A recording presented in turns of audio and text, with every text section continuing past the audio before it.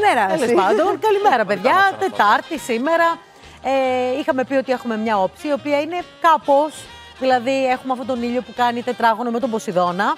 Δεν έχει και την καλύτερη φήμη γενικώς, αστρολογικά αυτή η όψη. Γιατί ο Ποσειδώνας είναι ένας πλανήτης λίγο μιχλώδης. Είναι από τη μια, ε, είναι ένας πλανήτης που όταν ε, μας αγγίζει, στο, αγγίζει το οροσκόπιό μας, έχουμε την τάση να εξειδανικεύουμε τα πράγματα, να τα ωρεοποιούμε, να τα βλέπουμε πασπαλισμένα με χρυσόσκονη. Αλλά μπορεί να μην είναι αυτή η ουσία των πραγμάτων. Ε, μ, είναι αυτό που λένε, πώς το λένε, η βιτρίνα είναι αυτή που σε θαμπώνει, αλλά από πίσω μπορεί να κρύβεται κάτι περίεργο.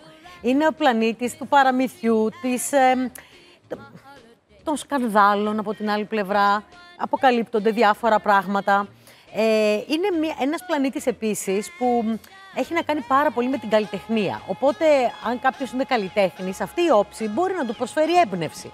Αν δεν είσαι καλλιτέχνης, μπορείς α, μέσω της τέχνης, αυτή, αυτής που παράγουν οι άλλοι, λίγο να ξεχαστείς, λίγο έτσι να, να δεις άλλα πράγματα, πιο ωραία πράγματα. Πάντα η τέχνη μας βοηθά, μας βοηθάει να είμαστε και λίγο αισιόδοξοι.